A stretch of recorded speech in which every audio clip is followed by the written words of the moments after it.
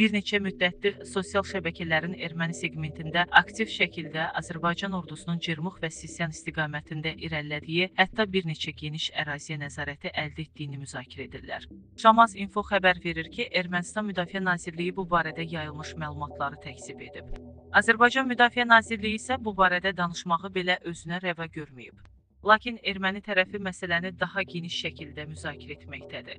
Ermənistanda ehtiyatda olan polkovnik Volodya Xovanesyan bildirib ki, Cermux və onun ətrafındakı dağlar artıq ermənilərin əlində deyil. O dağlar artıq bizim deyil. Cermuk indi Azərbaycanlıların əlindədir.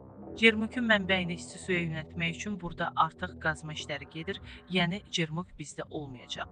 Başa düşürsən. Qeyd edək ki, Hovhannisyan bir müddət əvvəl keçirdiyi mətbuat konfransında da eyni fikirləri səsləndirmişdi. O demişdi ki, Azərbaycan ordusu 4 gün əvvəl Cermuk dağlarından Sisyana qədər təxminən 2 kilometr enərək yeni ərazilərə nəzarət əldə ediblər. Bildirək ki, Cermuk və Sisyan Ermənistanın ərazisidir. Azərbaycan ordusu isə indiyə qədər bir qarış da olsun Ermənistan torpaqlarına daxil olmayıb.